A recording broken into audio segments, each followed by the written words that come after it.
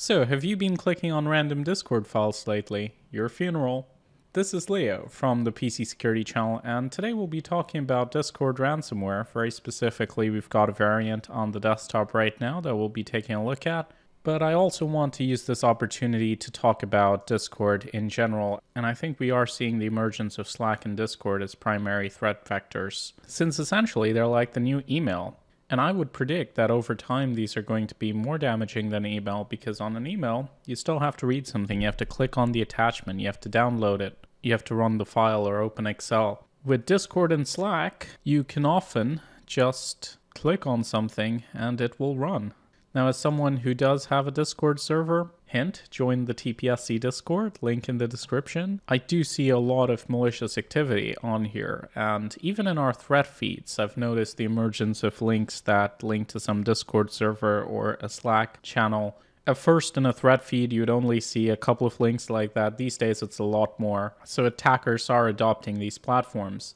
Now, on Discord, you can report such links to trust and safety team, but again, response times are not great. And as of the time of making this video, it's still relatively easy to just directly upload malware to Discord. There's no automated scanning that takes care of stuff like that, like Google Drive, for example. So I do see this as an interesting threat factor. Now, the sample we're going to take a look at today is called Discord Nitro. Now, this is the other side of the spectrum when it comes to ransomware. I'm pretty sure there's no major financial targeting with this. Essentially, the ransomware, you'll see what it does but it does have several references to Discord, as you can see. Um, there's a webhook here. It's not very secretive. Again, you can actually see the entire debug path, probably developed on Visual Studio. I like how the username is GG. And as of now, it is detected on VirusTotal, 51 out of 70. Looks like it's some variant of Hidden Tear at the end of the day, probably reusing the open source ransomware code. But we're going to go ahead and run it.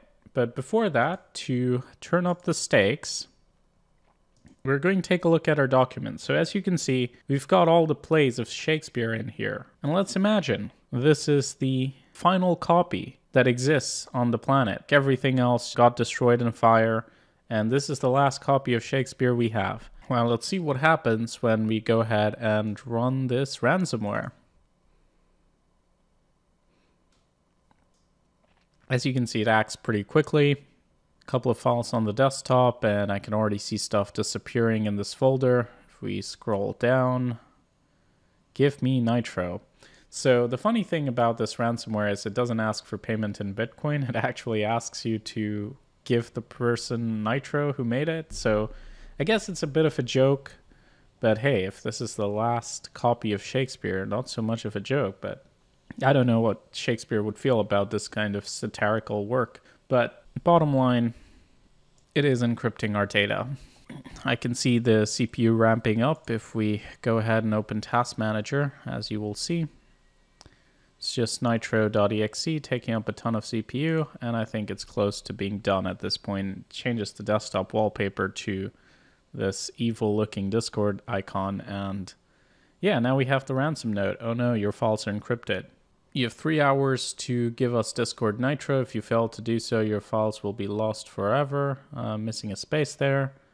Discord Nitro Griff subscription and paste the link in the text box. Oh my god. So it is basically a bit of a joke.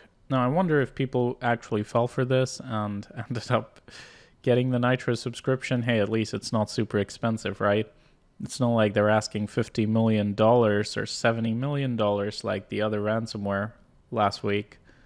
But I guess part of my goal here is to raise awareness about the use of platforms like Discord. Not to say that there's anything specific that this particular ransomware does, but I have seen exploits on Discord that will allow the attackers to hack into your account. That was a major story a couple of weeks ago.